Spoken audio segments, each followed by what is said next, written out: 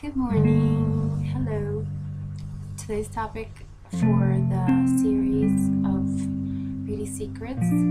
Uh, it's number four, I believe, and today's it's wigs. The ancient Egyptian times, the wigs were invented here, um, and um, it's been a while since then. And of course, things change and you know evolve. So now they've evolved to extensions, and um, as you can see, my hair is black, and I added these extensions. They're like uh, light blonde because I had my hair blonde before. Um, the system that I used, it's called Dreamcatcher, and it's the hair strand by strand. You buy the hair by bulk. You buy it. You go to a place and you buy it by um, by weight how much you want you to this place in Mohadessen, Mohamed. They're very nice people. They'll take care of you.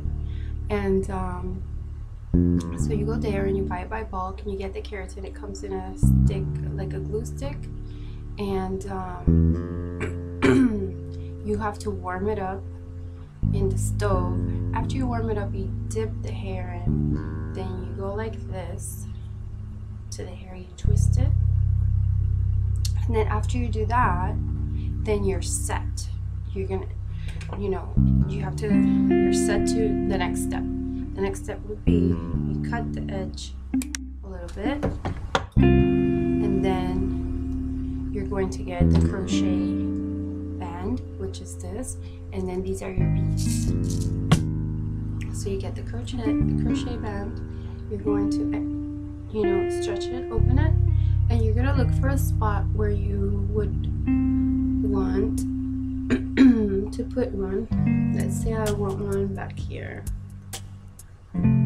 So you're going to look for a area that uh, it's under the rest of your hair because you don't want to put it right on top because it'll be visual, you'll be able to see it. So you're gonna get that hair, you're gonna put it like that. Okay. You have the middle piece. And then you're going to pull the bead through like such. After you do that, you're going to try to keep it as close as you can to your scalp. And you're going to take the hair and put the hair in there then you're going to move this one up. Then you're going to get pliers or there's actual pliers that come for this but I had these already so I used them. And voila you have the hair. It takes a long time. It took me three days to do my hair because it's kind of hard to see in the back but you can you can do it. So um that is beauty hack number not beauty hack beauty secret. Beauty secret. So that's beauty secret number four. And um, from this series.